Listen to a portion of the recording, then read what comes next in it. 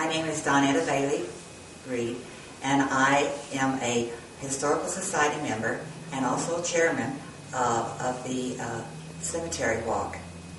And I have lived in Hamilton County since 1954. And uh, I have uh, recently went to uh, four different cemetery walks in Polk County and was very excited because I went in not knowing any person buried there and came out wanting to know more. And I brought this idea back to the Historical Society here in McLeansboro. And everyone was enthused about it because we wanted to get uh, the uh, point across that uh, there was a lot of uh, people buried here that were founders and helped to form McLeansboro. So first we had to get volunteers. We asked for people in the public and in the society members. And we got people to come forth and to portray. At the, last year we had six. This year we have ten. We had to do research and we went out to the oldest part of the cemetery and we chose people not by who was famous or their name, but by location and the year that they passed away, preferably in the 1800s. And then from there, um, they started looking to see if they could find information in the genealogy, genealogy department and uh, through uh, local people that had contacts. And with this research, we were able to um, uh, get enough information to portray someone. If there wasn't, then we went back out to the cemetery and we chose another uh, person. Then they did the research. They they did their uh, format for the person they were going to portray, and then we started uh, having meetings and getting volunteers. Uh, we had uh, transportation. Um, we had uh, went to Paducah to Creatures of Habit, got costumes fitting that time era for that person, and then we had the cemetery walk. And we hoped that we uh, would, the information that we provided would get people interested to join the society and to understand what type of people and the kind of people that were buried there who contributed to the founding uh, uh, of McLeansboro and to draw interest and hopefully people will become members. And now it's on to the cemetery walk.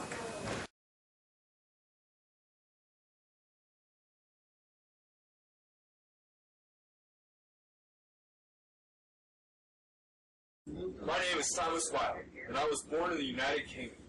Shortly after arriving in America, I placed an ad in the Maryland newspaper for any member of the Grand United Order of Oddfellows Friendly Society. After speaking with many great men, we came together and formed the first lodge in America on April 26, 1819, in Baltimore, Maryland, naming it Washington Lodge Number 1. Today we are known as the Independent Order of Oddfellows. The command of the Independent Order of Oddfellows is to visit the sick, relieve the distressed, bury the dead, and educate the orphan. Specifically, Independent Order of Oddfellowship is dedicated to the following purposes. To improve and elevate the character of mankind by promoting the principles of friendship, love, truth, faith, hope, charity, and universal justice to help make the world a better place to live by aiding each other in times of need, the community, the less fortunate, the youth, the elderly, the environment, and the community in every way possible. To promote goodwill and harmony amongst peoples, nations through the principle of university, universal fraternity, holding the behalf that all men and women, regard less of race, nationality, religion, social status, gender, rank, and station are brothers and sisters. On September 20th, 1851, the International Order of Oddfellows became the first national fraternity to accept both men and women when it formed the Daughters of Rebekah. I, Schuyler Colfax, was the force behind the movement. Around the world, the Oddfellows undertake various community and charitable projects. Our organizational work includes spending over 775 million in relief projects annually. Our educational foundation provides substantial loans and grants to students. The SOS Children's Village provides a caring home for orphan children in 132 countries around the world. Our Oddfellows and Rebekah homes provide a place for the elderly. The Living Legacy focuses on planting trees and enhancing the environment. We also have the Arthritis Foundation. Our Visual Research Foundation supports vision care and research through the Wilmer Eye Institute. The United Nations Pilgrimage of Youth sponsors a group of students for an educational trip to the United Nations. Our annual sponsorship of a float in the Rose Parade in Pasadena, California, the International Order of Oddfellows is the longest running organization to sponsor a float and has won more first place prizes than any other organization at the event.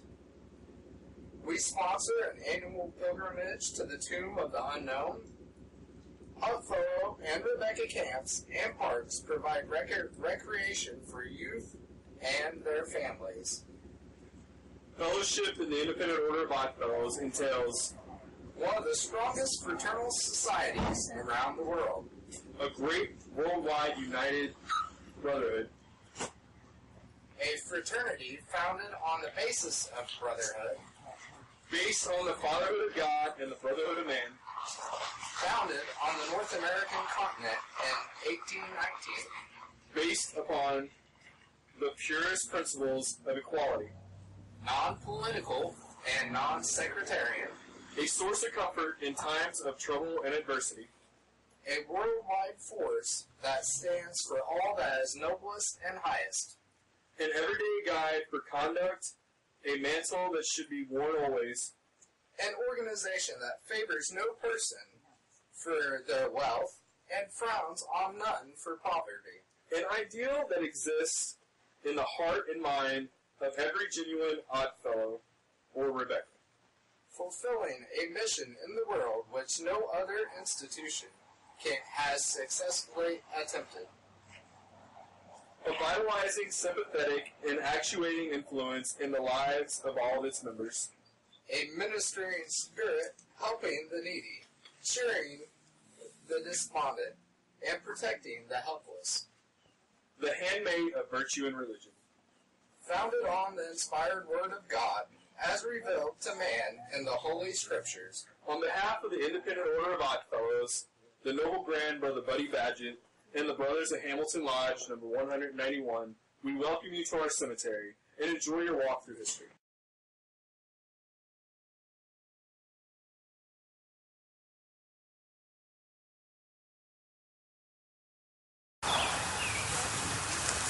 Hello, everyone. Thanks for stopping by. This is your first stop on your cemetery walk today. Let me introduce myself. My name is Elnora Blades Ledbetter. Otherwise, most people know me as Nora. I was born in 1860 here in Hamilton County to James M. Blades and Elsie Lockwood Blades. And my grandfather on my mother's side was Jesse C. Lockwood, who was one of the founding fathers of this county.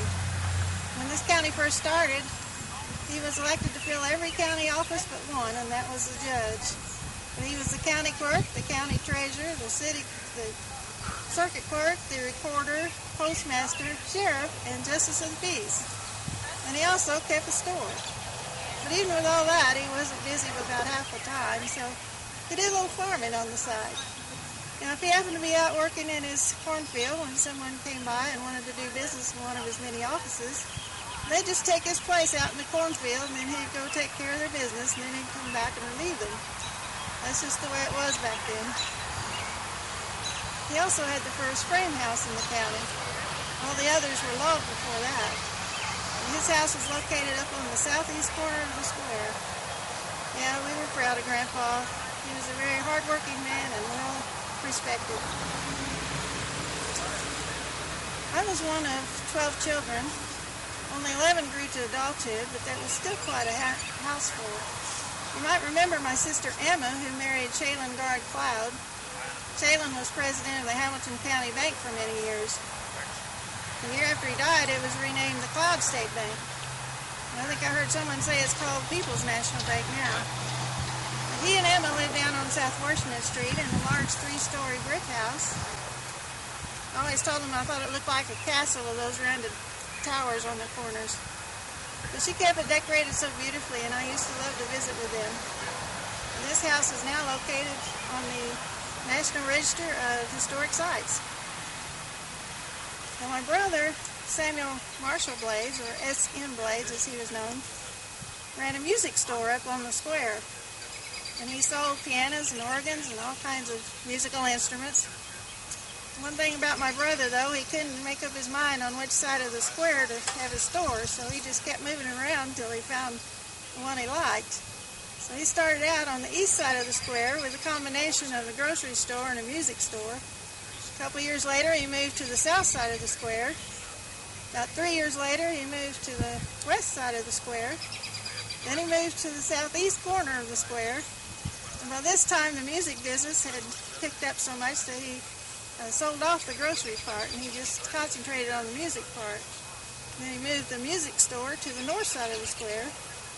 He was there for about three years and then he moved back to the southeast corner of the square where he added a line of dry goods and ladies' uh, furnishings and hats, and that's where he stayed. And I thought that boy never would settle down. And in the first 12 years of his business, he sold 300 pianos and organs just in this county alone. It's not counting what he sold outside the county. He's responsible for bringing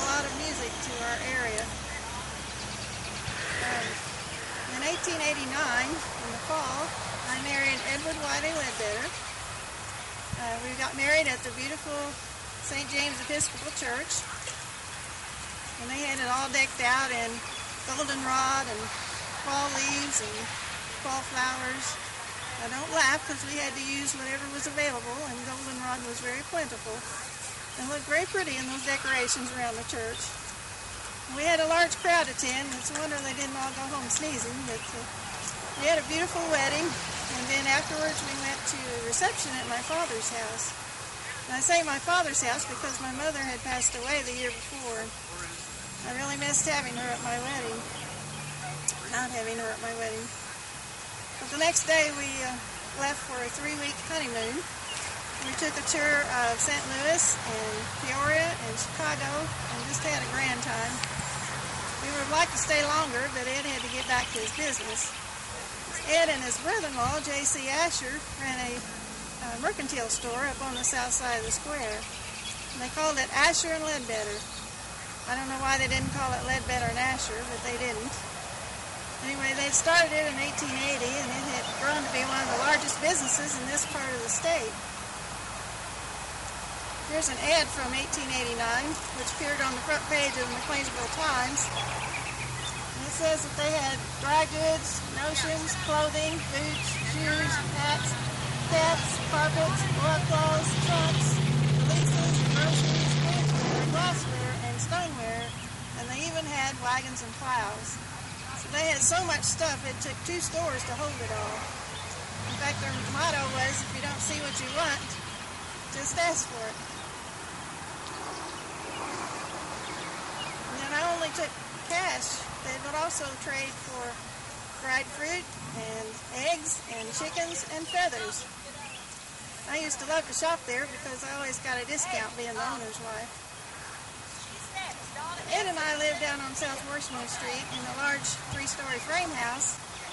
It had a little white picket fence around it, and it had vines growing up the side of the porch for shade, and I loved that house. And in the first five years of marriage, we filled it with three lively boys. Yes, we were happy then. Life was good. Up until that fateful day just before Thanksgiving in 1895 when Ed decided to go on a hunting trip with several of his friends out to Missouri and Arkansas. If the weather was good, they'd planned to stay for several weeks, but the weather didn't cooperate, so he came back early. Poor Ed came down very sick after that. Doctors came out every day and did all they could to save him, but he passed away on December 13th.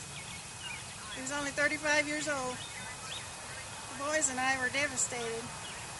Well, they gave him a nice funeral up at the Methodist Church. There was about 200 people attended because he was well known and well loved throughout the community. But they brought him out here and laid him to rest right over there.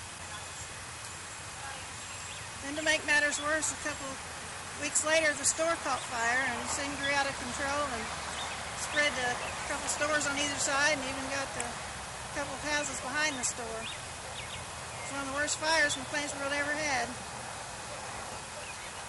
If it hadn't been for a heavy snowfall that day, it might have wiped out the whole south side of the square. A few weeks later, Mr. Asher moved his store to the east side of the square and just called it J.C. Asher. No more Asher and Ledbetter. So in just a few weeks' time, my whole world had turned upside down. I didn't know what I was going to do. It was rough.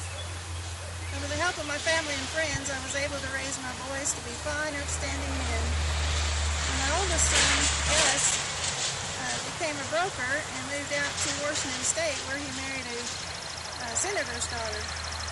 But he always kept in touch with me on special days by calling or sending flowers. He was such a thoughtful boy, was my Gus. But he did quite well out there, and when he died in 1970, he left $50,000 to our little hospital out here, and they were able to build a 20-bed wing with that money. They even named it after him. It's called the Gus E. Ledbetter Wing. And my youngest son, Leland, moved out to Indianapolis, Indiana, and became a railway mail clerk. He married a lovely girl, and they had a little girl named Mary. My middle son, James Dwight, never left McLeansboro. Became an electrician and worked for the city. In fact, he worked his way up to become superintendent of the uh, light and water plant. He married Laura Bell Braden, and they had two children, Miriam and Jimmy, whom I love to spoil. Then one day, tragedy struck that family. And one evening, Dwight was out working with a high voltage wire, and I guess he touched it wrong or something. Anyway, he was electrocuted. Killed him instantly. Was only 35 years old, just like his daddy. He's buried right over there. I tried to help his family all I could since I've been through the same thing about 30 years earlier. One thing that kept me going through the years was my church. I attended the Methodist church and it was known as a singing church and I loved to sing in the choir. I sang alto and it was, they told me I had a pretty good voice. Even after I got too old to participate, I still loved to listen to the hymns and the songs on the radio and I'd harmonize along with them. The last two years of my life I spent with my sister Carrie in St. Louis. I got to see Leland more often then because his job brought him to St. Louis every week or so, and he'd always stop by to see me. I enjoyed those visits. But I passed away on October 24th, 1935, at the age of 75. They brought me back here and laid me to rest next to my husband and my son. So that's the end of my story. Thanks so much for stopping by. And I think your next presenters are waiting for you right over there.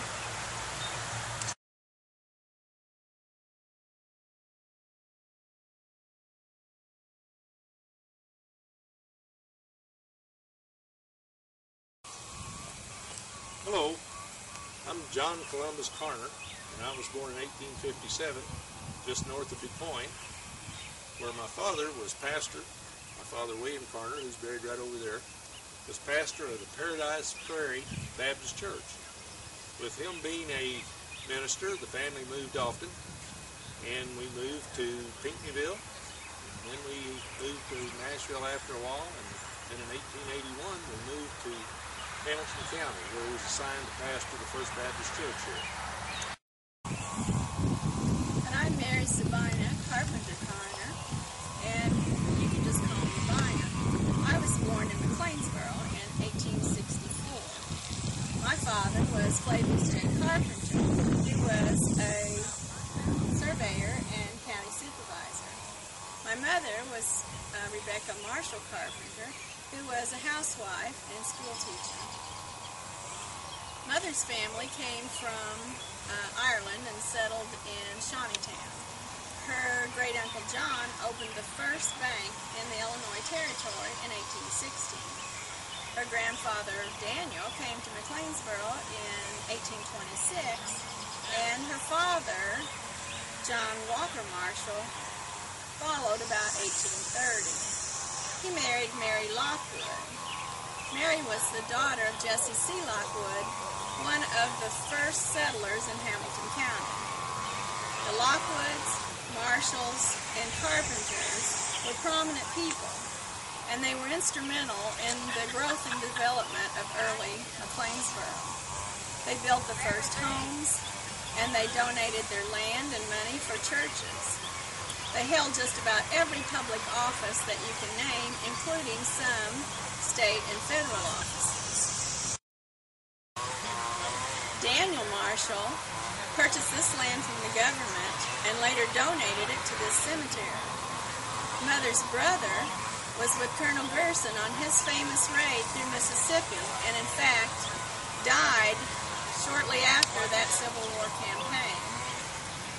Father died when I was just two years old, and mother taught school for about eight years.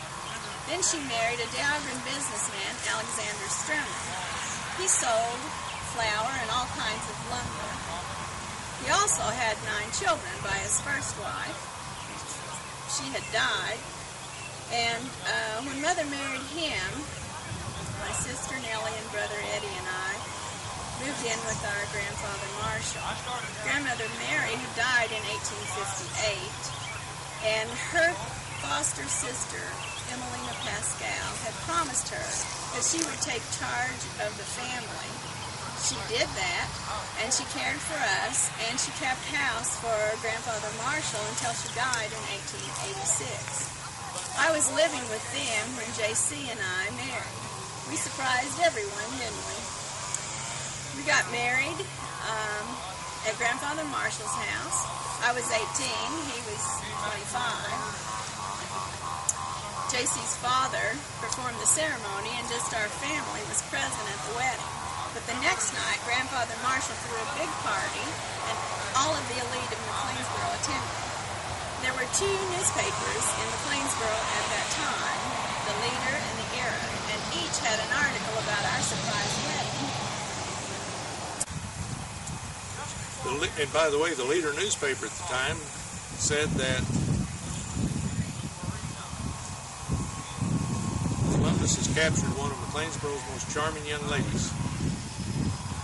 And given who her family was and the background, it can be said that old Columbus married very, very well. Like I said earlier, in 1881, our family moved to McLeansboro. And within a year, uh, I had gotten set up in the monument business and had married Bina. The Carter name remained on that monument business at 202 South Washington, that's right off the southwest corner of the square, for 60 years until my death. For many years, our residence was at 512 East Market Street, up here by the Catholic Church. So what else did I do in the 60 years that I lived in McLeansboro? Well, first and foremost, I was very active in the First Baptist Church, where I was deacon, trustee, and church clerk for many years. Uh, around 1900, I served two terms as city clerk of McLeansboro. I was also active in Democrat politics, as is evidenced by my being in this picture with William Jennings Bryan when he came here campaigning for president in 1902. This is William Jennings Bryan, and this distinguished looking gentleman here looking at the camera is yours truly. The car is a 1902 Grout steam car. It was uh, had a steam engine. I was also a director of the Cloud State Bank, and we had a very active family life. Yes, we did. We had six children, including a set of twin boys. Unfortunately, we were able to raise only four. Our daughter Lucille died the day after she was born. Then we had Nellie, Ruth, Bill, and the twins John and Paul. Paul died when he was just six weeks, six years old. Paul died when he was just six years old. He suffered for about six weeks and couldn't recover. I was so distraught that I couldn't attend the funeral, which was held here at the cemetery.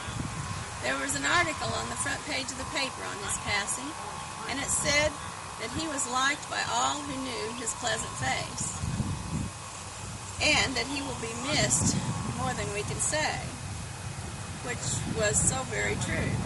Of course, I had the other four children, and I had JC, and I had my church. I had been a very active member of the Presbyterian Church um, from very early childhood.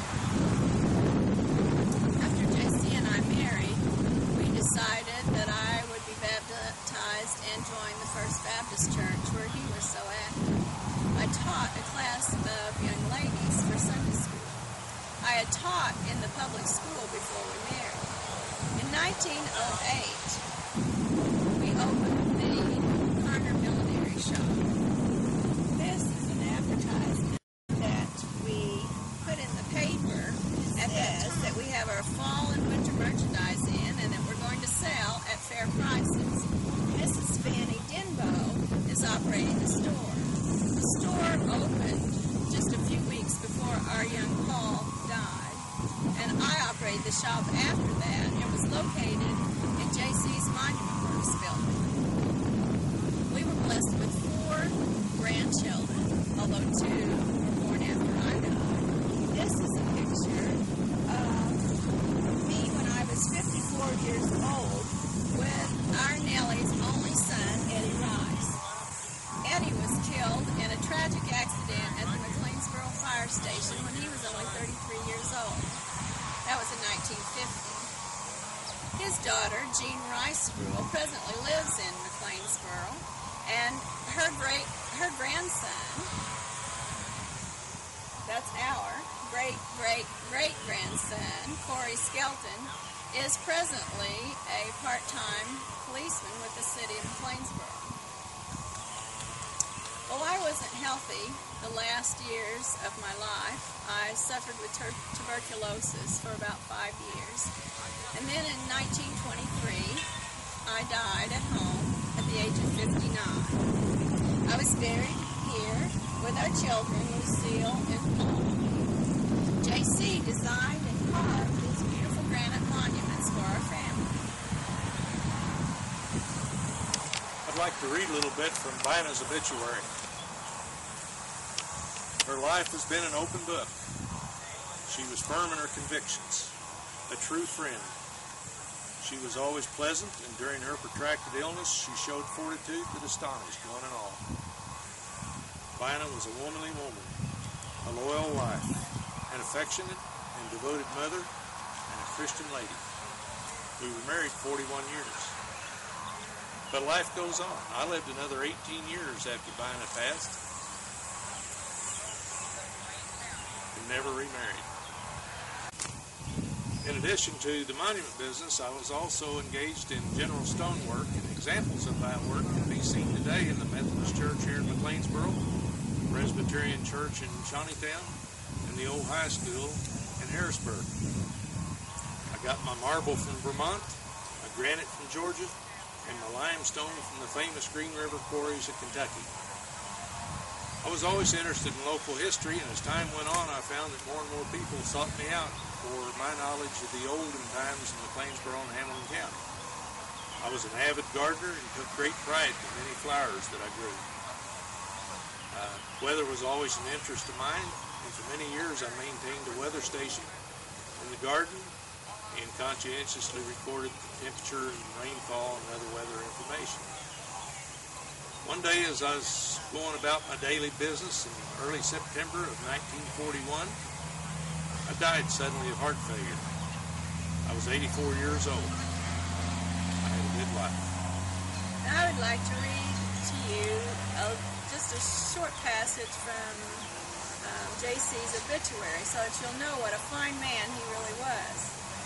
JC loved nature and humanity, and he considered all men to be equal. Both his body and mind were exceptionally healthy, and he was genial, humorous, and had simple taste and habits. He was courageous, proud, self-reliant, and he had the faith that comes with close kinship with God.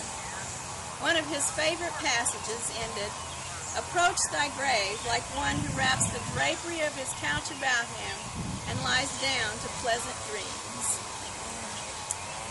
Thank you very much.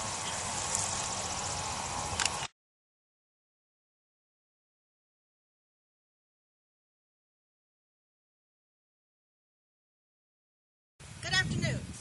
I'm Fanny Florence Benson, Dr. George Benson's wife, and I came here today to help to memorialize me.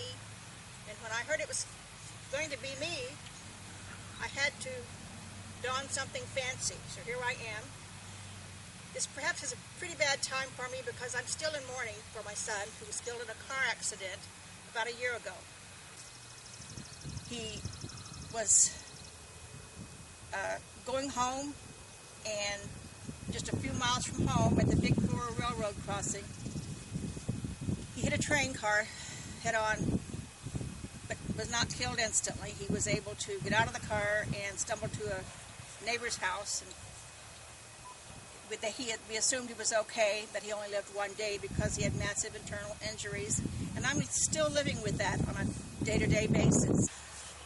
Okay, my life is not about death at this time my life is about wanting the people of McLeansboro to know something about me. I was more than just a mother. Whenever I was uh, born in Iowa, I lived there for a few years, and then my family moved to northern Illinois, a town in uh, Livingston County. And I had a wonderful family. Uh, I was very close to my uh, brothers and sisters, and I remain close to them to this day. And uh, the uh, memories that come to me at times will be quite touching. I'll try not to burden you with all of them. But let's go with the happy memories. I, I met um, my husband, Dr. John George Benson, when he was going to medical school in St. Louis and uh, I was also going to a school up there. My father had sent me to, uh, and we fell in love instantly. And I was going to. I thought we would be married at my parents' home in northern Illinois, but he wanted to be married in his hometown of McLeansboro. So that's what we did. But my father didn't want to just go to his house, to his new son-in-law's house. To, I mean, new son-in-law to be he wanted to have our house. So my father bought a house in McLeansboro for the wedding to be held. My brother decided to get married the week before I did, and then he joined us at the house for our wedding. Uh, it was fabulous. It was beautiful, and we I we had made good friends in McLeansboro, so I felt at home there. And we immediately went into a grand social life my husband was uh, the son of Dr. Valentine Benson, one of the noted doctors in McLeansboro. His uncle was uh, General James Campbell. I'm sorry, not his uncle. His sister's husband was General James Campbell. So we had a great introduction to the city. We bought a big house near uh, on on Randolph Street, near where the railroad tracks are now and uh, but after we lived there about 10 years, we decided that we wanted a bigger house, so we bought a huge house on South Jackson, which would be located real close to where the post office is now, across the street. And we were very happy there. And then around 1900, my husband started becoming disoriented and was not feeling well all the time. He had uh, by this time started a drugstore up on the square, on the north side of the square, that he and his dad owned. So he uh, really couldn't handle that business very well. He took in a partner, and he still wasn't feeling good. And then in 1905, he uh, became much more ill. His uh, he was missing a lot of the days at work, that type of thing, and he went to St. Louis they took him into the hospital, and he was dead in three weeks. His he finally died of a heart uh, attack. Now that was my first real dealing with tragedy. And I, like many widows do, I went into a seclusion. And luckily, I, we did have close friends here in McLeansboro, so I was had them to lean on. And I- did that and got my strength again. That was 1905 that my husband died. And I, it took a couple of years, but I came out of it and I became very active with the local ladies. Uh, we formed several organizations, uh, women's clubs and that type of thing. We tried to do beneficial things for the community.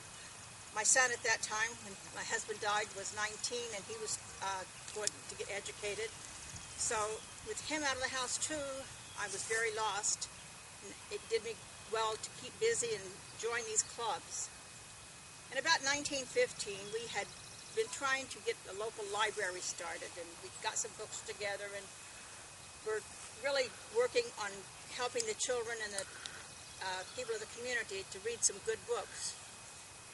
Uh, then, someone who was aware of what we needed, uh, once we had the city had inherited, been willed the McCoy Library. They were looking for someone to run it, and they chose me.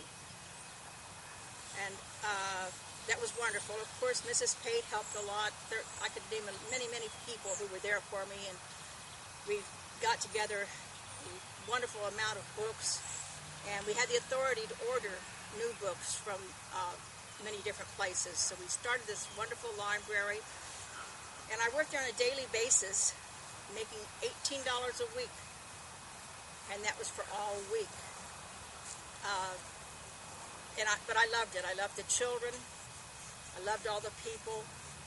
And uh, my uh, my son had gotten married, and of course he married well.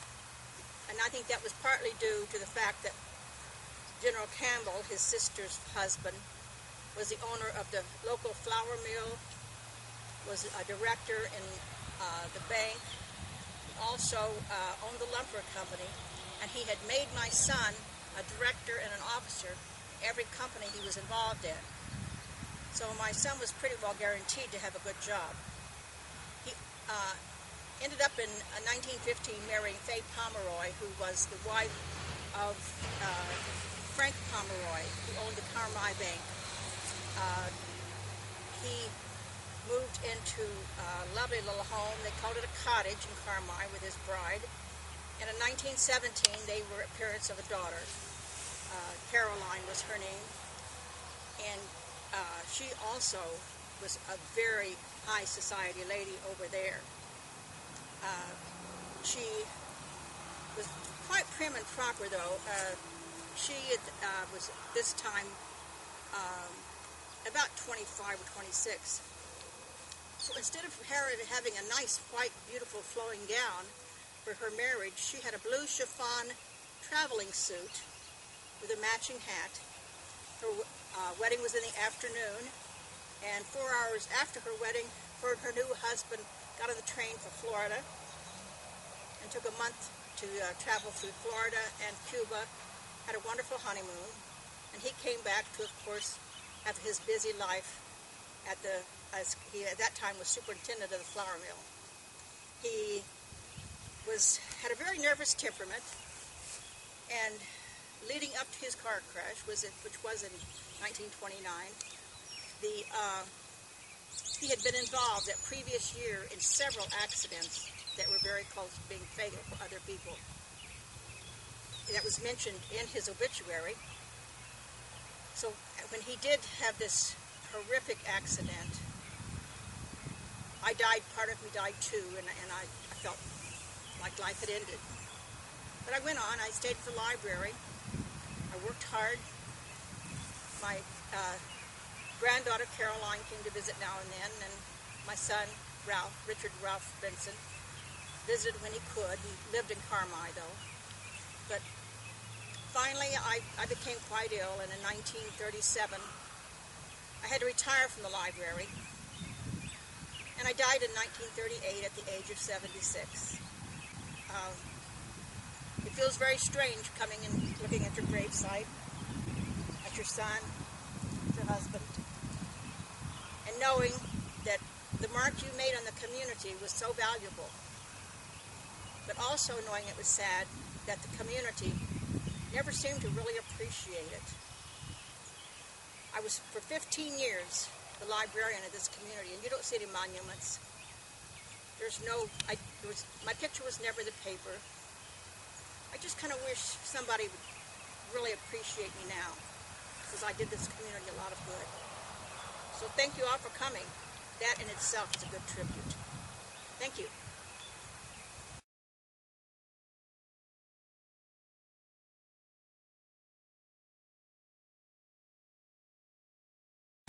I'm Molly Lynn Utley, daughter of Thomas and Martha Jane Utley.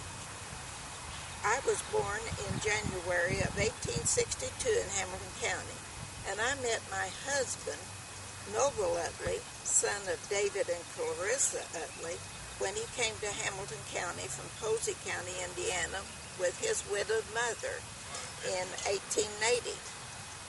We married in 1883 and had six children.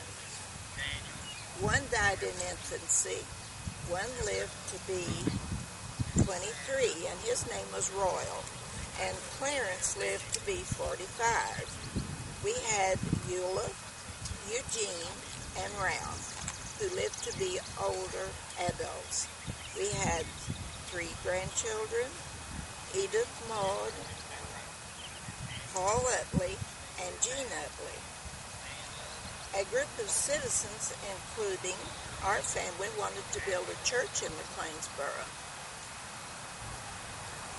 We wanted to build a Christian church. It was organized in February of 1876, and the person who came to organize us was Elder James Baker of Carbondale. We had 17 members. The meetings for quite some time was held in the courthouse basement because we had no uh, building at that point to uh, meet. A contract was left to a man by the name of George Hoffman for $1,365. He had a fine riding horse which he sold and applied the money that he received to go on our church to bring the price down. And we had several members who donated a lot of labor and time in erecting our church. The building was completed in 1881 at a cost of $1,800. A tower was built on the building and it told every meeting that we had and it could be heard all over town. We were the first couple, my husband Noble and I, to be married in the church and we were the first person to be baptized in the church. Mr. Utley organized a choir and remained its director for 45 years. In 1880, Mr. Cloud gave us a lovely communion set. After a period of time, we weren't using it, and we decided that we should let someone for safekeeping take it to their home, which they did. The church was very fortunate that this lady took such good care of it because we lost our church in a fire in 1922. The communion set, after uh, we got organized again in a new building, brought the communion set back in 1956, where it remains today. As our church was burning, a group of young men came to watch the fire, and they did rescue our original organ, which has since been refinished and it remains in the church to this day. We decided after our church was built, we were so enthralled with it that we would have a beautiful all-day dedication service. And we notified people in surrounding towns, and we had a large crowd that day who attended. We had a bountiful dinner served, And at the close of the evening service, a group of hooded Ku Klux Klansmen marched into the church and they brought a check for $100.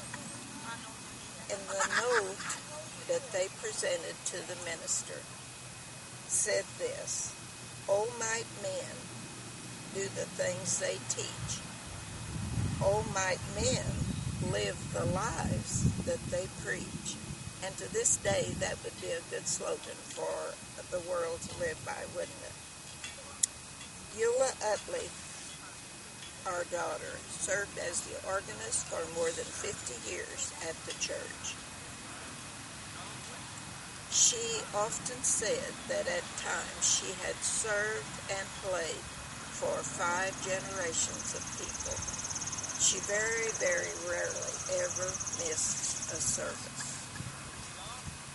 One time the church, to show their appreciation, gave her a wonderful silver tray, which she cherished. She never used it, but kept it in her parlor where all could see it.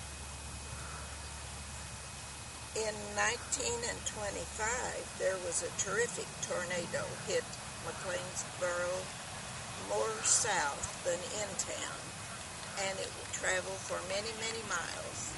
We had a group of ladies in our church called the Willing Workers, and they sat up day and night sewing and providing needs for the people who had lost their belongings and badly injured or had passed away from accidents. I have seen several events in my life. One of them was I saw the first train coming through McLeansboro. My, what an event that was. We had a large crowd down there to see that come through. And it was such a such a thing that the children, some of them were scared about it, and they just clung to their parents as it roared into town with all that steam. And then I also attended the first burial that was held in this cemetery. I passed away of pneumonia in 1946. I lived only six years after losing my husband. I passed away of pneumonia and a heart disease. Thank you all for coming, and we would welcome you to come and attend our historical meetings anytime that they are held.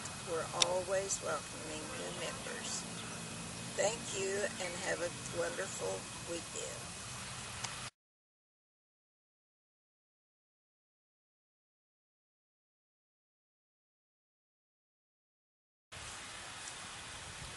In 1840, the three Cummins boys loaded up their families, all that they had on flatboats. and They floated down the Ohio River to a place where Bay Creek flows into the Ohio River on the Illinois side. And there they uh, made landfall and they settled in Johnson County in a place uh, called Reedsville. Now, if you live south of the Ohio River, you would pronounce that Reedsville. But if you live on the Illinois side, which is where they landed, you would call that Reedsville. Now, the oldest of those three boys was named Peter, and he was my granddaddy. And he had a boy named uh, uh, Daniel. He was my daddy. Daniel married a, a lady called Elizabeth Smith, and she was my mama. And to that union was born 10 children. Now, right after the Civil War, 1866, I was born. I was number seven in the family. And Daddy wasn't much of a, of a religious man. He kind of left all that religious teaching up to Mama. Mama was a strong Methodist, and she raised us kids to be strong Methodists also. She did such a good job that uh, five of the five of the boys became uh, Methodist ministers, which is what I am to this to this day. And and uh, she uh, uh, took good care of us. My, I remember my first uh, uh, experience as a, as a preacher was at a little five point circuit down in Hickory Grove, Kentucky. Now, most people talk about preachers as being uh, circuit riders. Well, I was poor, I didn't have anything to ride, and so I had to walk to all five of my churches. Uh, I guess you'd call me a, a circuit walker. But my uh, later on, my uh, my formal education began at McKendree College, and I graduated from there. Later, I went on to study at the Garrett Theological Seminary and Drew University. Actually, I came back a few years later and was uh, dean of the summer ministry school uh, at McKendree. I did that for 20 years. I'm getting ahead of myself, though. Uh, just before I graduated, I met this girl. Uh, she's a Mayfield, Kentucky girl, and oh, I tell you, there wasn't a more lovely creature walked the surface of this earth. Her name was Katie Landrum Key. And I gotta tell you, I was so smitten with her. I was smitten with her. I courted her. I courted her hard. And I courted her long. And uh, uh, finally, she said that she would marry me. And so, right after my graduation from McKendree, we got married, and that was in 1892. And we came here to McLeansboro, and I took the First Methodist Church here and pastored that church. And we started our lives together. We started our family together. Two boys, my two oldest boys, Wendell and Wallace, were born here. Uh, and we continued to serve the Lord until I remember, say, I think it was 18, yeah, it was 1897. In 1897, I came down with a bad case of typhoid fever. And I got to tell you, if it hadn't been for the, the healing of the Lord and uh, the, the nursing of my beloved Katie, I don't think I would I would be here today. But you know, the Lord, uh, He helped me out, and and Katie nursed me, and I uh, recovered. And not all clouds have a have a, a, dark lining, because I also remember it was in that same year that our first little baby girl was born. We called her Little Marie, and I, I got to tell you, now boys are fine. I love them boys dearly, but I remember that little girl when I'd hold her in my arms and I'd rock her and she'd look up at me with those eyes and smile. I tell you what, next to her mama, I just don't think there was a more lovely creature on this earth anywhere. And she was such a fine child, and I loved her so dearly, and so did her mama. And uh, about two, two years, 1899, I guess it was, we were going to move to, to Olney to serve a church up there. And just before we were to move to Olney, a little Marie died. And she's laying right right over there. I got to tell you, I took it hard. Oh, I took it hard. Didn't know what to do. But Katie again brought me through it, and life goes on. And, and uh, we moved to Olney, served the church in Olney there, and before a, a year was out, the Lord had sent us another little baby girl, and we called her little Katie L. Katie Louise. Again, she was the apple of her daddy's eye, but also the apple of her mama's eye and, and the apple of her brother's eye. And we all continued to serve the Lord there at Olney and, and grew in the Lord. And, and then in 1900, we had another son. We named him John Wesley Kay. Uh, and we all continued as a family to, to serve the Lord. And oh, the Lord blessed us in, in so many ways. 1905, we were moved to uh, down the road about 25 miles to the uh, Mount Carmel Church. And uh, we served uh, served there and, uh, for, for two years. little Katie and, and, and the boys, it was such a such a wonderful time. And then in 1907, uh, we were called back here to McLeansboro to a brand new church that was being built. At that time, it was called the Methodist Episcopal Church, the ME Church. And uh, I was to come back and serve as a pastor there. But just before we left, just it was almost just deja vu again, because just before we left to return to this church, our little Katie died. Her mama took that awful hard. We brought her back down here, and she's laying right there next to her sister. But time goes on, and life goes on. We moved back down here to McLeansboro, and I became the pastor here, and I presided at the laying of the cornerstone of the First Methodist Episcopal Church. And as you go into that church today, as you walk up to the main entrance and you look off to your left just before you go in the big double doors, you'll see that stone, that cornerstone that was laid there uh, when I was pastor. Well, sir, life went on, years passed. I pastored several churches in Illinois and a few in uh, Missouri. And then in 1941, I retired from the ministry.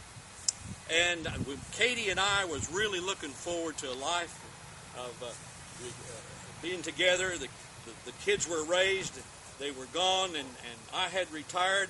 They'd called me at the time of my retirement the silver-tongued orator of the of the Midwest, and I was, even though retired, I was much in demand for speaking engagements. Uh, but mainly, Katie and I were looking forward just to our golden years together, uh, living in, in retirement. But the Lord had other ideas. And in 1942, my beloved Katie passed away.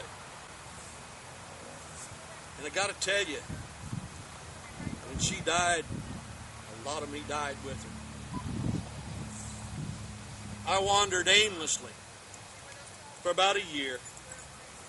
Then one, about a year, just about a year later, I uh, was at a retreat in uh, Lake Junaluska, Methodist retreat, and I met this lady there. Her name was Ida Skelton Ramsey. She was alone. I was alone.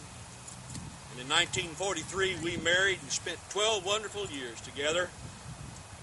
We were in Florida on her 81st birthday, January 21st, and she passed away. And we buried her beside her first husband in Birmingham, Alabama. And from there, I went to live with Wendell. And for the next eight years, for seven of those eight years, I taught a Sunday school class in Dallas, Texas. And then on September 1st, 1967, I get this birthday card from, of all people, the President of the United States, Lyndon Baines Johnson. And he congratulated me on, on being a, a hundred years old. And the TV stations in Dallas, they sent out their cameras and they sent out their crews and they interviewed me and I sung old church hymns for wonderful day. It was a wonderful day. I just wish my Katie could have been there. And then six months later, the Lord called me to His church eternal. And they had my funeral right up here what is now the First United Methodist Church in McLeansboro. And they laid me to rest right here, this spot, right beside my beloved Katie. Here we'll be until that wonderful, glorious day when the Lord calls us to be with Him. And every knee shall bow and every tongue confess that Jesus Christ is Lord. And now will you bow with me for a benediction? May the Lord bless you and keep you. May the Lord make his face to shine upon you and be gracious unto you. May the Lord lift up his countenance upon you and give you peace. Thank you for coming this afternoon.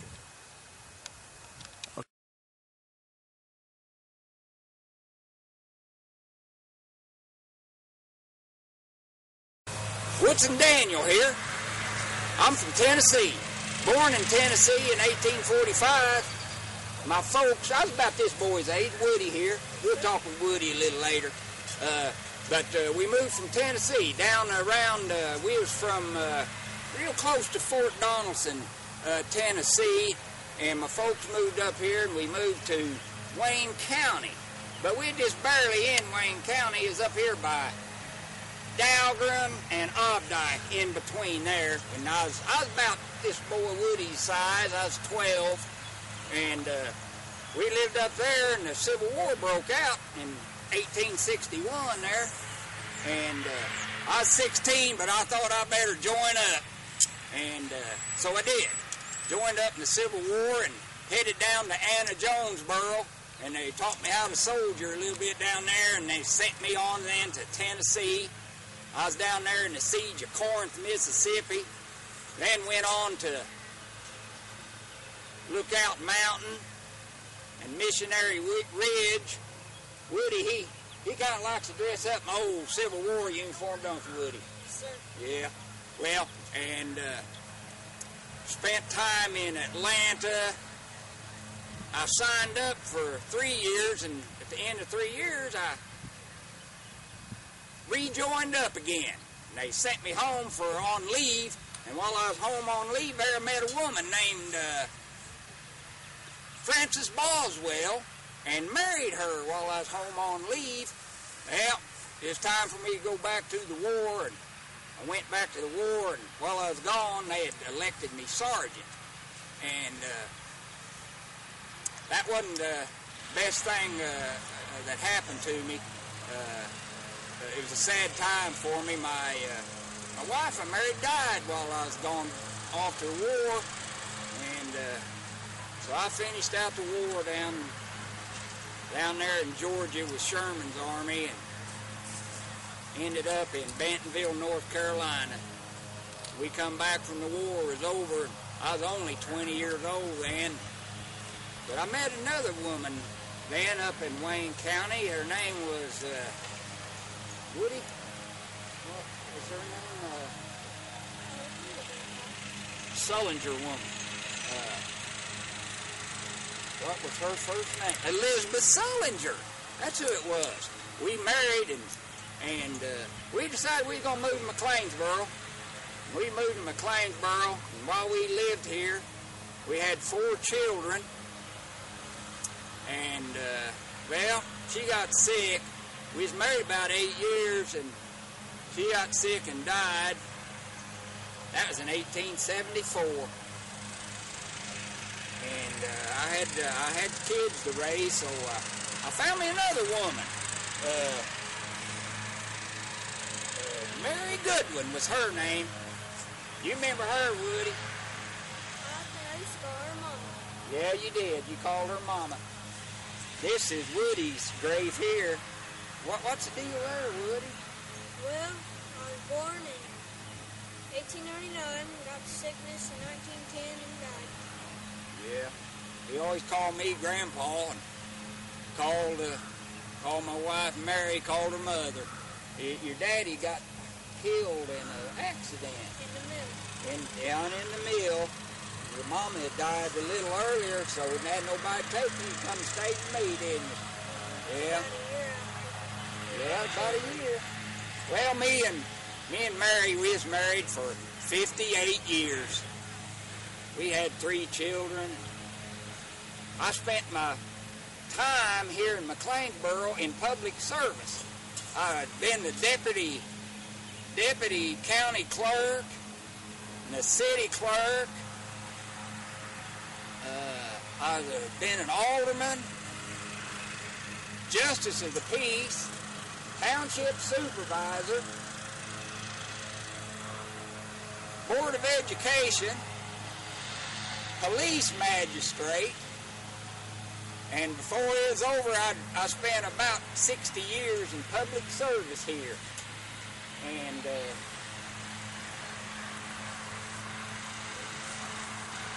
Woody here. Woody, did you tell him you just got the sickness, right? And we lived down on we lived down on Washington Street where we lived, and is down by where the Gholson Funeral Home is now. And that's where Woody is living with us when, when he died. But anyway, I uh, I had a, a long career, and uh, I never I was sick, 96 years old when I died. And I was the last Civil War vet from McLeansboro. I'd written a book, an autobiography, when I was 85 years old. I was a member of the Grand Army of the Republic here. And, and uh, like I said, and, and you knew him too, old Abe Blaster. We lived right across the street from one another. We'd all time go to uh,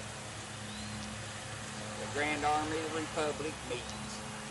Well, that's about my story. I'm going to have you move along to see the Biggerstaffs. Thank you.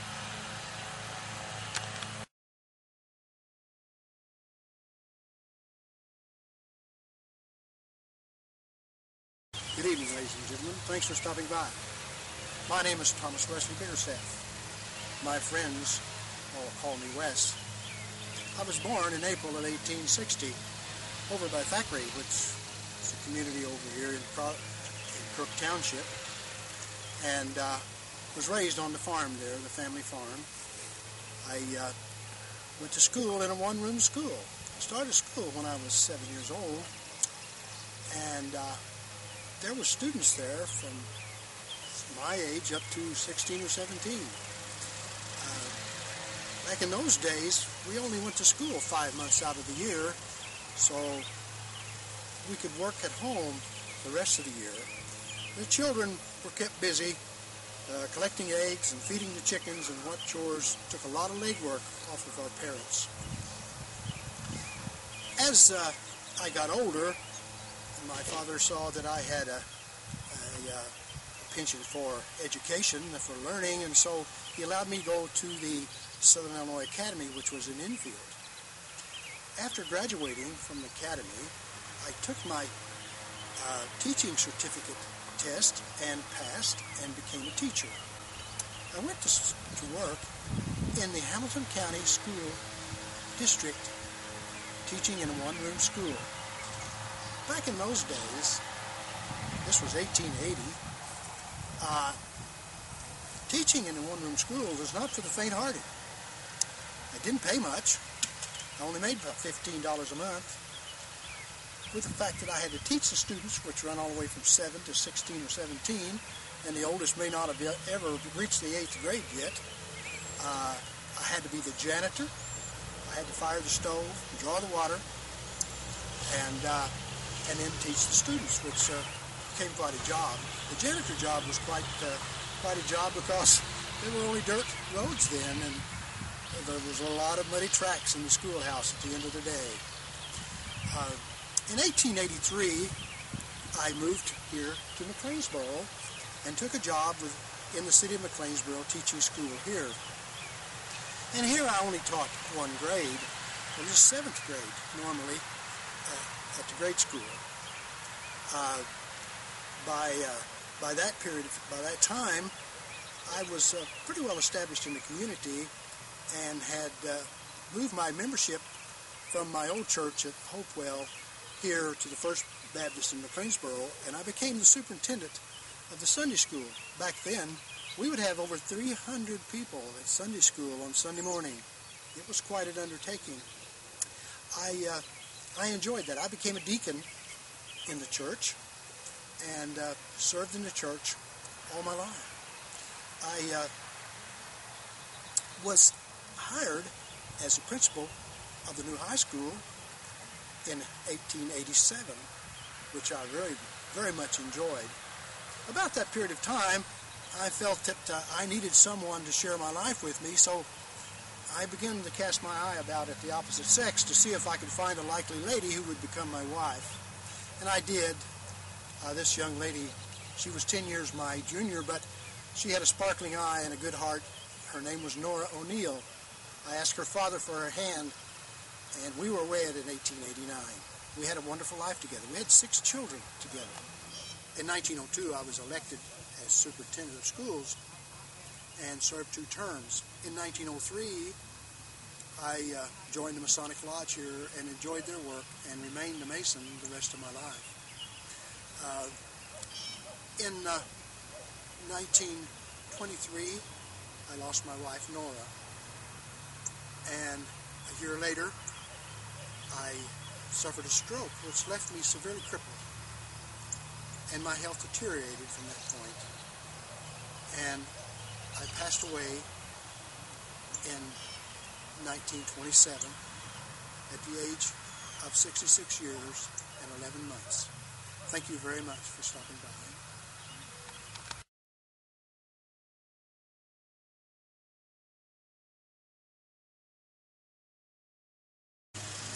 Good afternoon. My name is Nora Josephine Biggerstaff. I was born in March 22nd in 1870. And I know that's a mouthful, but my family name is O'Neill. And here is my father. My papa was Samuel Marshall O'Neill. And my mama was Sally Crouch O'Neill. Now the Crouch family are well were well established in McLeansboro because my great grandfather came here and settled in 18 and 16 when it was just a frontier city. My mama passed away whenever I was quite young. I was only about six years old. But Papa married again a fine lady by the name of Felina Ingram. And she was such a loving stepmother to me and cared for me during my growing up years. I wasn't the only thing growing during that time. McLeansboro was growing too.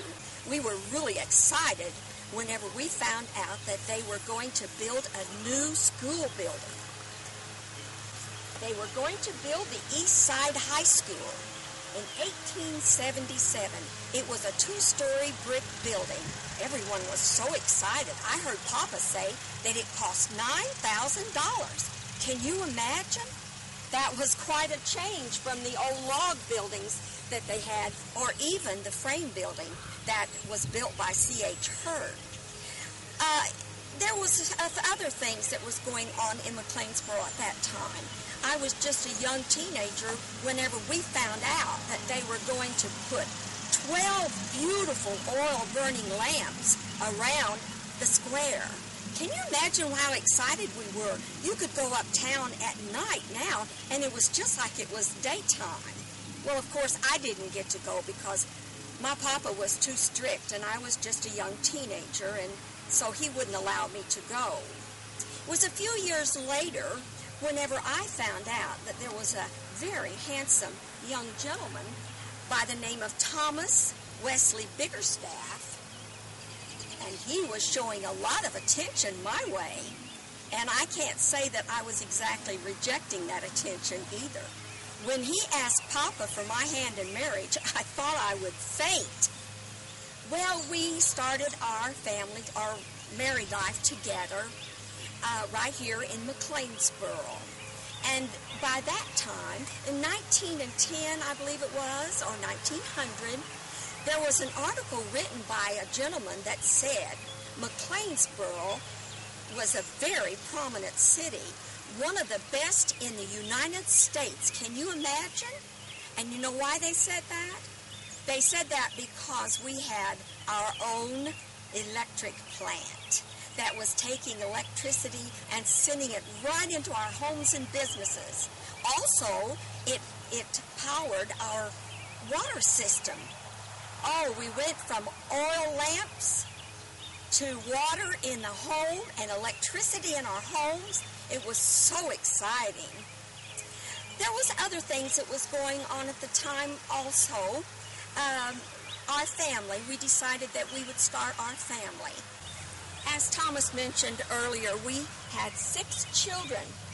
Our first child was Royal O'Neill, who was born in 18 and uh, we were so thrilled to have a son.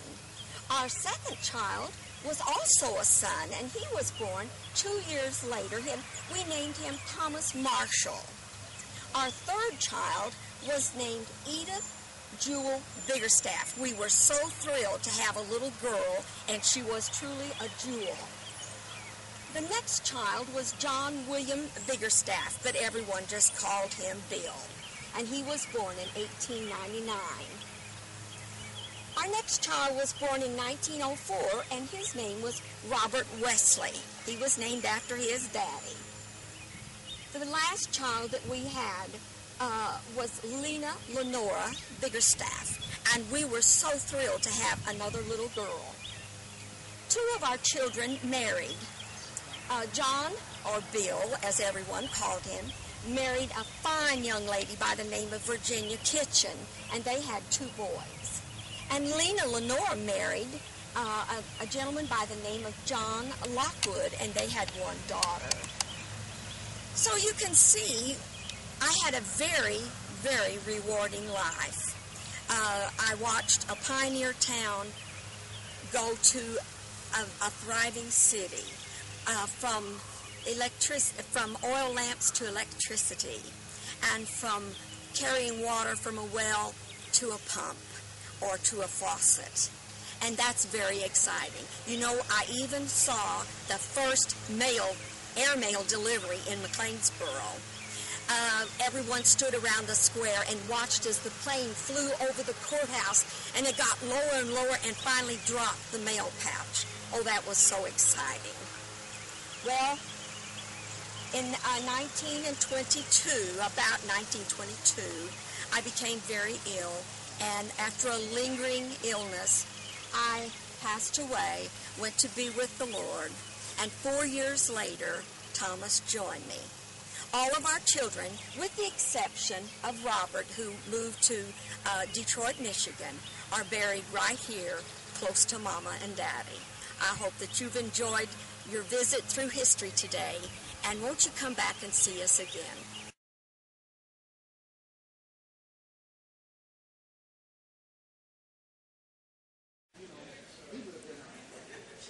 Hello, we're here today with Mrs. Shirley Wolf. She's the great great niece of the Reverend John Wesley Cummins, who is part of our cemetery walk.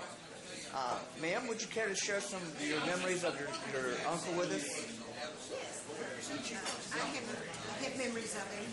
Uh, maybe because he lived to be a hundred, a hundred and a half, and uh, so therefore, even in my lifetime, you know, I, I saw him uh, many times. Uh, I was never, of course, uh, living in the same town where he was, but uh, got to see him. Uh, as I said, he was my great great uncle, and uh, oddly enough, on my mother's side, it's kind of strange because our, family was kind of intermarried, as they did back in those days of all being in the same community. And um, while my father's name was Cummins, he was also a Methodist preacher. I'm kin to John Wesley Cummins on my mother's side, is probably a little strange, but um, I attended John Wesley Cummins' funeral in McLeansboro at the Methodist Church when he died in 1967. And I remember that very well, of course. Okay. It, and uh, isn't it amazing that a, a person like that can be so well known and, and and receive a birthday card from the president and make such a profound impact on the community he served? I'm sure you're very proud of him. Uh, we, we are, and um, he did have an impact on the community. He, was he was known far and wide for his skill in the pulpit. Uh, he was just very good as a, as a preacher, and uh, uh, I've, I've heard uh, heard many people say about what a, what a fine job he did as a preacher, and uh, I knew him better than any of the uh, his other pastor brothers. He had uh, four brothers who also became Methodist pastors, and uh, uh, but he was the one that we were around the most, and for some reason I don't know why. But anyway, my my family was just uh, did with him more often than he did us, so I didn't know the others so well. Uh, but anyway, he was from a family of eight uh, eight brothers, and there were two sisters and their mother was a very great influence on them. Uh, I know she was a, a fine Christian woman, and uh, uh, the Methodist Church was very important to her in the little community in which they grew up. It was, uh, uh, of course, just a country community. There was a little country church there that was very important in his life and uh, in their lives. And anyway, he, he, was, he was just quite a guy and had a, had a, a large impact on the Southern Illinois Methodist, on the, the Methodist conference in Southern Illinois. He was um, he was a president of the board of McKendree College for many years, and uh, um, in the um, within the conference, I know that he was a, um, a sort of teacher of the preachers. I mean, he was. Uh, invaluable in the conference, in their training school for pastors. And I so enjoyed the man's portrayal of him. He did such a great job. Didn't look like him, of course, but he, he sure did uh, uh, talk like him. And that was great. He didn't use a roll or. He just stood up there acted like he was John Wesley Cummins. that was great my husband and our two daughters came quite a distance today just to hear this. And I think your cemetery walk is perfectly fantastic. um, I'm going to go back and um, preach to my own historical society and say, listen, we've got to get with it. we've got to, we've had cemeteries and, and interesting people in those cemeteries for many, many years. Uh, our county is actually one of the oldest in the county, next to St. Clair and I think Randolph uh, are only the ones that are as old county is. So we've got to get with it on this thing. I bet you was it was it kind of surprising to hear though that people talk about your ancestor and they were going to do this as part of a cemetery walk and it, it and it went so well and I'm glad you really enjoyed it. Yes. Marion and Pat Russell came down to our house and, uh, and introduced themselves to us and invited us to come to this, and I appreciate that very much. Well, thank you, Mrs. Wolf, for coming. We sure appreciate this interview with you. Thank you very much. All right, thank you. I hope you enjoyed the cemetery walk. A lot of people worked very hard to make it a success. Let's meet some of them.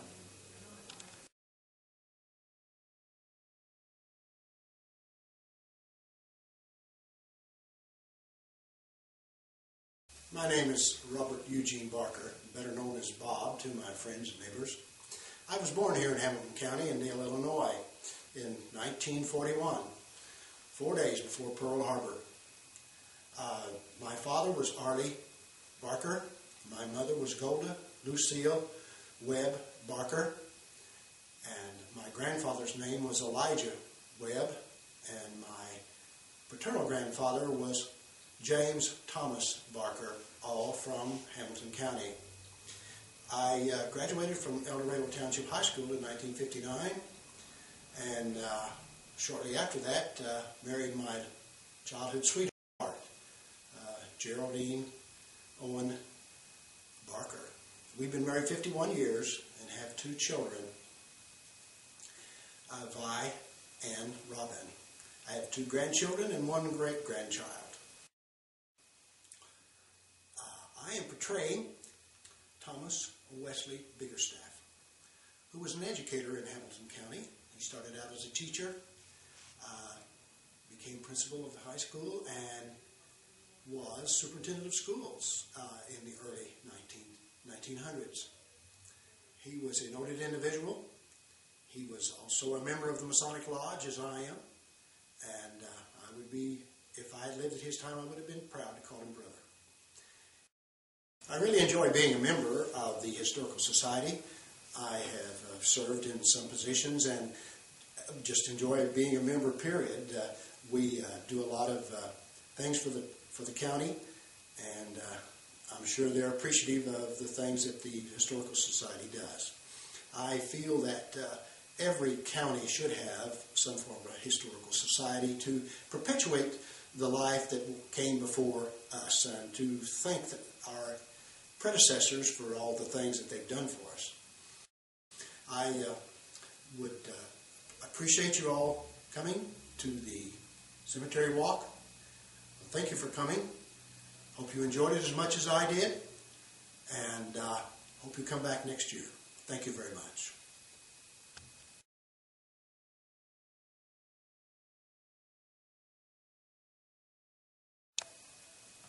Hello, my name is Jan Leake, and I had the privilege of portraying Nora Josephine Biggerstaff.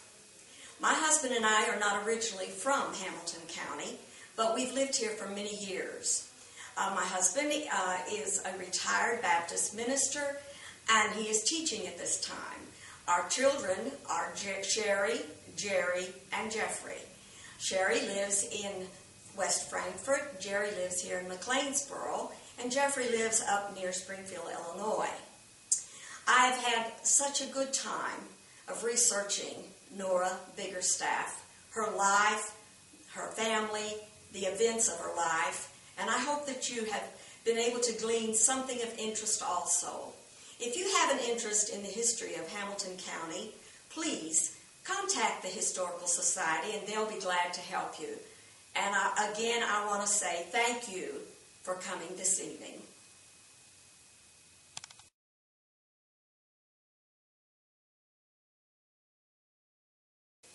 Hi, I'm Donna Braden Broyles Mariner. Uh, many of you may remember me from last year when I also did the cemetery walk. and portrayed Elsie Lockwood, who uh, was a pioneer here in McLeansboro, the wife of Jesse Lockwood.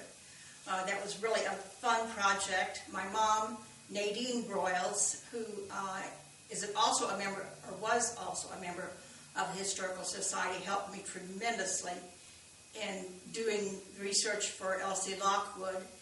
And she was just starting to help me uh, do the research on Fanny Benson, who I portrayed this time. And uh, unfortunately, she got cancer and died February the 6th, 2011. So much of my work now will be in her memory. And uh, if you haven't met me before, I came from Florida a couple of years ago just to be with mom and uh, help her in her last years. And I was very confident that she would live at least 10 years because her uh, mother, Lena Flanagan Braden, lived to be 100, so why wouldn't my mom? But that doesn't always happen the way we want it to. So uh, I've left Florida behind after living there for 25 years to a wonderful British uh, guy who was witty, intelligent, handsome. was very fortunate. Uh, and came to McLeansboro, where many of my relatives, my current relatives, live. I've got cousins and aunts here who are also a tremendous help. And um, the blessings of living in a community where you have close family is really kind of foreign to me because for 25 years I lived in Florida where only my next door neighbors and about 30 friends, mostly British, were my family. So now here I am in McLeansboro, a widow, and also now an orphan. Uh, my sister lives in Arkansas, and it's been uh, difficult getting used to losing a mother. I'm sure that many, many, many of you have done so, but uh, you know how hard it is. So this cemetery walk was dedicated to my mom, Nadine Broyles, uh, a member of, in addition to the Hamilton County Society, Historical Society, she was a member of the Franklin County Historical Society, and very active as such, and quite active in politics, and had very opinionated in her religion or lack of it. Uh, a fun person to talk to, well read, and well educated by her own readings and her own schooling. She took several courses uh, in college uh, when they lived in Alton. So uh, thanks for participating in the cemetery walk and for getting to know me and also for getting to uh, know my mother as many of you did. Thank you.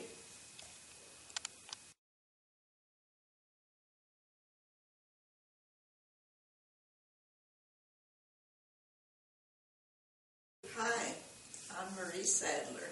I'm portraying the life of Molly Lynn Utley. My mother's was Myrtle Turrentine. She was a Sandusky before she married, daughter of Franklin Sandusky and wife Ella Ward.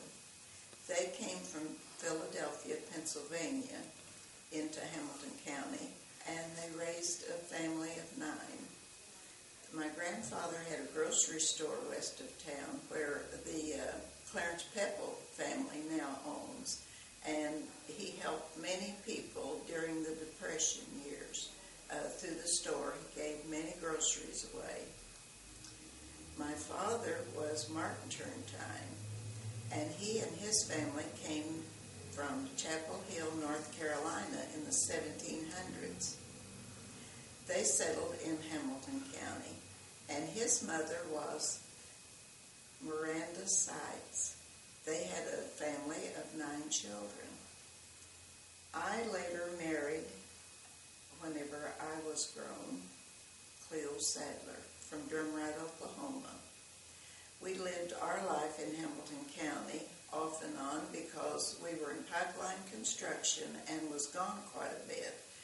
but uh, I love Hamilton County. It certainly is home to me. And we had three sons.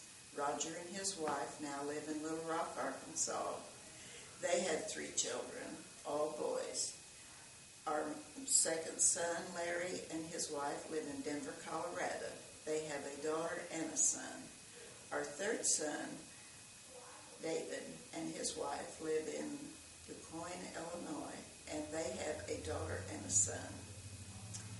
I have certainly enjoyed the organizations that I belong to, and we would like to invite all of you to come as our guests to any of our historical meetings, and if you enjoy history, we would invite you to join us as members. Thank you so much.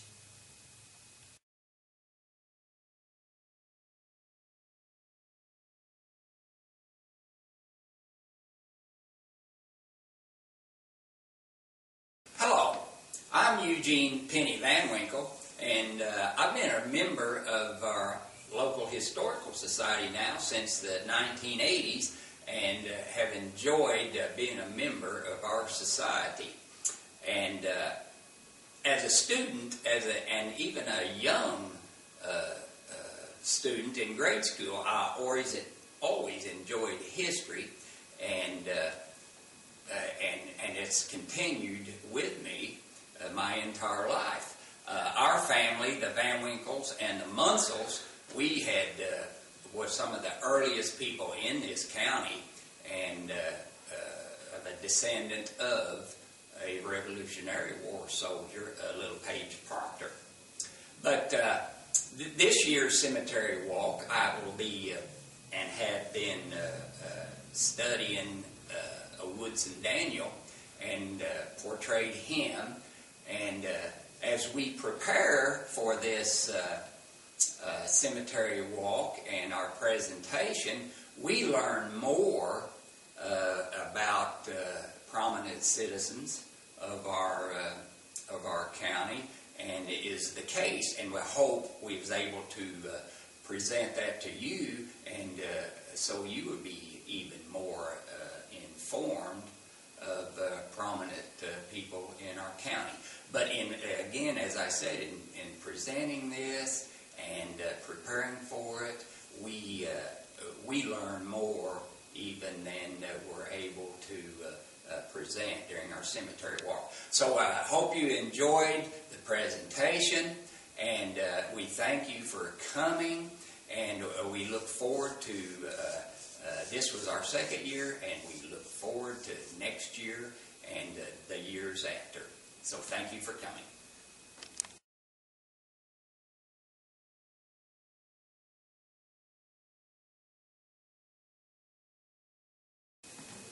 Hello, my name is Lucas Stover. I'm 14 years old. I go to uh, Unit 10 Junior High School off the highway. And uh, the character I'll be portraying in the Hamilton County Historical Society Cemetery Walk will be Woodson Daniel Jr.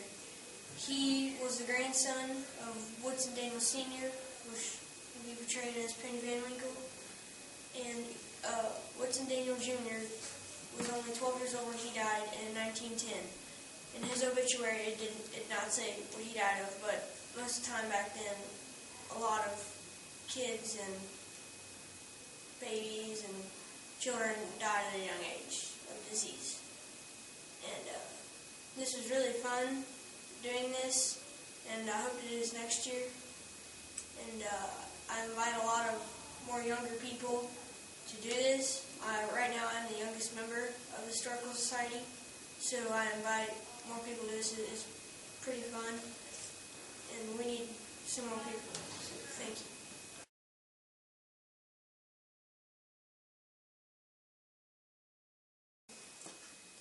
My name is Doris Nelson, and I portrayed Elnora Blades Ledbetter in the cemetery walk this year. I really enjoyed getting to know my character because I really admired her spirit. Even though she lost her husband very early on in their marriage, and she had to raise her three boys by herself, and she also lost one of her sons at a fairly young age, she was still able to sing praises in the church choir. She was an amazing lady, and it was an honor for me to get to represent her this year. I was born and raised in Hamilton County. I was the youngest daughter of uh, Arthur and Ruby Cottingham. I have two brothers and one sister, Claire's, Carl, and Dana.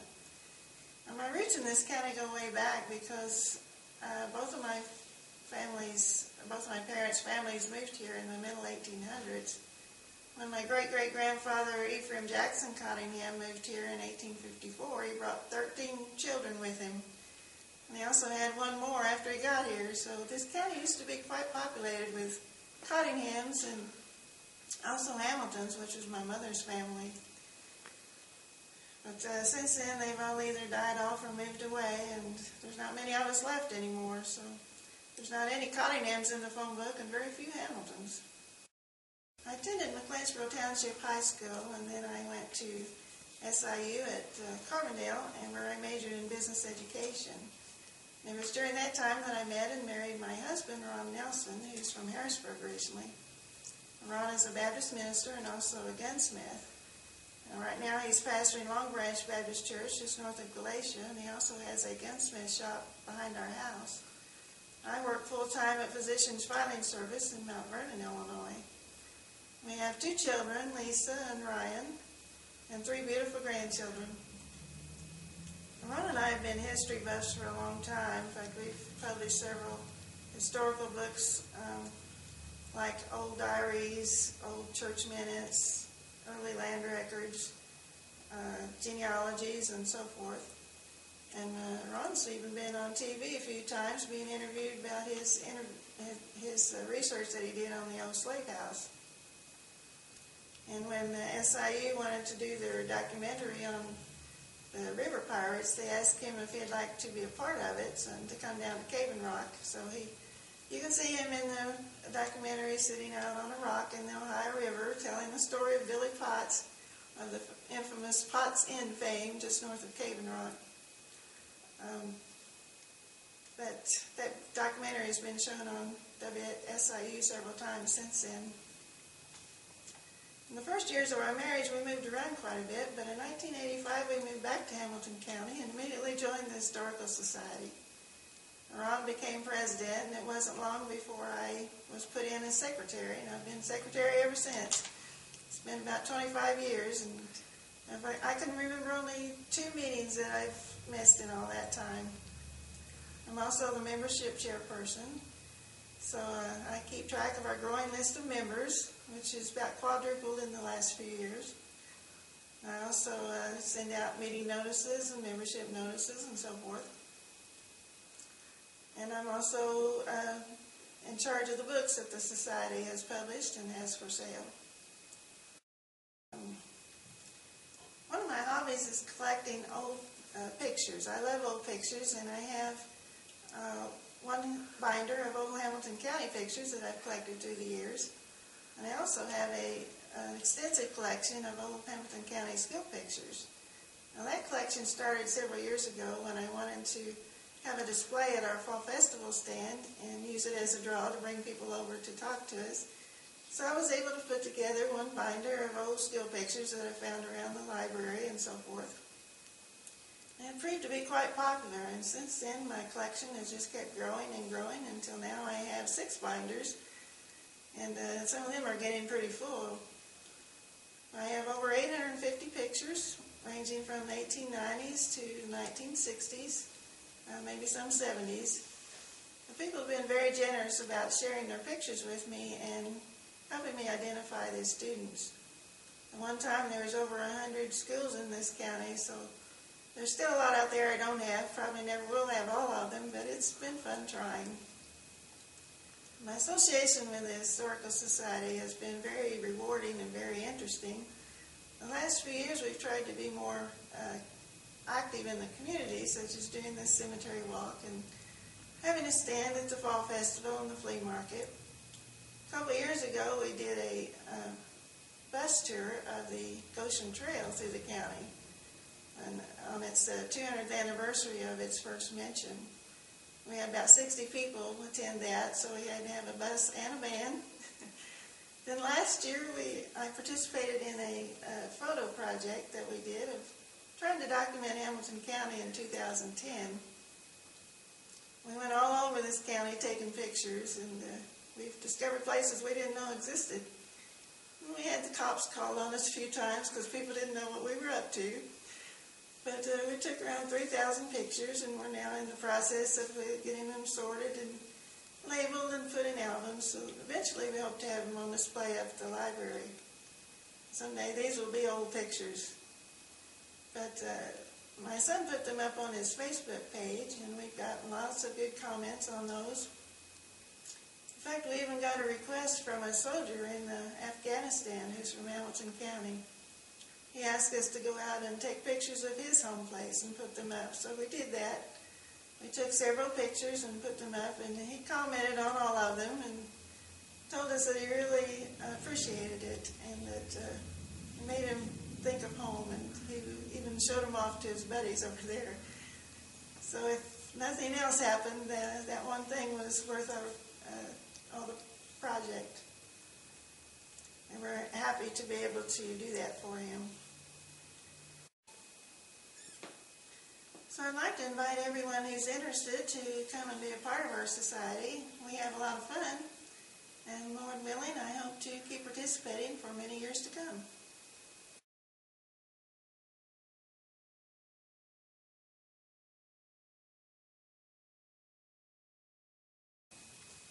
Hello, my name is Leland Whiting.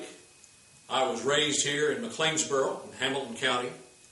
And you know, if the present is the strength of our culture, then the past is certainly the lifeblood of our culture. And I certainly feel privileged and honored to be able to participate in this cemetery walk that we're going to be doing on May the 14th. Uh, I will be, uh, uh, my character will be uh, John Wesley Cummins. Now, he touched this community in many ways. Uh, he was the uh, founder and, and he laid the cornerstone of the first United Methodist Church. And that church was the church in which I was raised. My mother played the organ there for about 30 years, and I was raised from a small child uh, in that church. Uh, very dear to me. And so I feel honored and privileged to be able to portray John Wesley Cummins. John Wesley was the uh, seventh of ten children, uh, and uh, five of which uh, became Methodist ministers. It's a very interesting story and goes back and shows how the history of this county unfolded and was influenced by this man. I came to uh, this uh, county with my parents who came from Kansas, and my father was following the oil boom and opened a shop here to uh, service the uh, drilling equipment as this great uh, field was opened up in this area.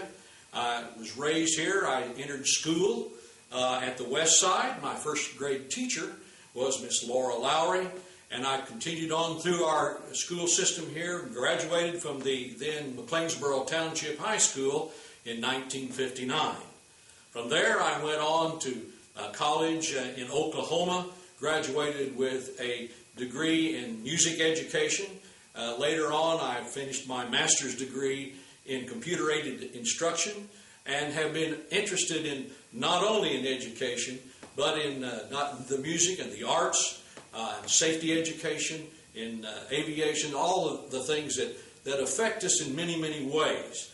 And without the heritage that was given to me by this county and people of this county, who touched my life in so many ways, would I have been able to, to do that. I hope that you will all be able to come on May 14th and be with us at our cemetery walk and see exactly how rich a heritage that we have here in Hamilton County. Thank you.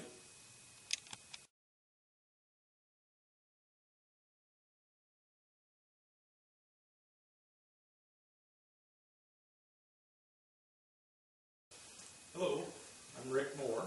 This is my wife, Verna And I have been married for 40 years, and we have two children. Our daughter is uh, lives in uh, Denver, Colorado, with her husband and a four-year-old son, and our son lives in Portland, Oregon. Um, Rick has has always been interested in history, and I've sort of been along for the ride until last year when, on a whim, I decided to participate in the cemetery walk. And I found out it was just a lot of fun looking at uh, all the information. Um, the lady I portrayed last year was very interesting, and um, just reading the census records and reading the old newspapers was a lot of fun. So I decided that I would go ahead and participate this year, and I uh, portrayed uh, Mary Sabina Carpenter Carner this year, and uh, she was uh, quite um, an elite person in McLeansboro around the turn of the century, and it's um, very been very interesting working with her uh, character this year. And like Verna said, I've always been interested in history. Um, we both grew up in the Broughton area, uh, Verna on the county line, and I grew up west of Broughton a little ways. But we were gone for about 30 years and I've been back in Hamilton County for 10 years and have been active in the Hamilton County Historical Society most of that time. My interest uh, in history came from who knows where, but I've always believed that to know where you're going, you need to know where you're coming from and where you've been. And researching our characters and as well as many other local history incidents, uh, I find very interesting. Um, John Carner, who I portrayed this year, um, ran a monuments works just off the square in McLeansboro for 60 years. He was born in Perry County, but came here with his father, who was a Baptist minister. And in fact, uh, his, uh, his father married us. My father married us. Um, but the cemetery walk has uh, generated a lot of interest. Uh, certainly, we've enjoyed putting it on.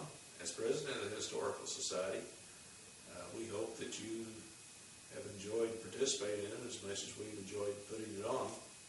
And certainly, we welcome any inquiries you might have as far as uh, membership in the Historical Society or more information about some of the folks portrayed in the cemetery walk. Uh, we'd be more than eager to speak to you about those things.